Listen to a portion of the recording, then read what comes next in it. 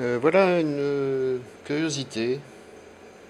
C'est une vie de Sainte Marguerite qui a été écrite vers 1450 dans une belle bâtarde. euh, C'est une copie parisienne. La particularité des vies de Sainte Marguerite, qui étaient des textes très populaires au Moyen Âge, est qu'elle protégeait les femmes enceintes. Euh, ceci à cause de la légende de Sainte Marguerite qui, euh, lorsqu'elle est enfermée par Olybrius euh, dans un cachot, voit apparaître un dragon qui l'engloutit et dont elle sort vite en lui crevant le ventre grâce à son crucifix. Donc cette, histoire merveilleuse qui, qui est parue, d'ailleurs qui était inclus à la légende dorée de Jacques de Voragine, plaisait énormément.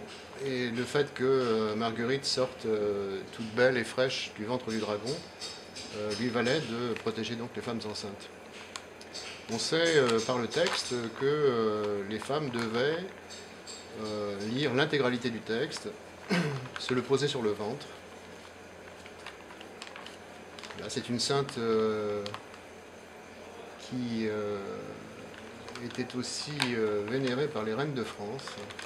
Et la principale relique de Sainte Marguerite se trouvait à l'abbaye Saint-Germain-des-Prés, où se trouvait l'écharpe qui a permis d'étrangler le dragon.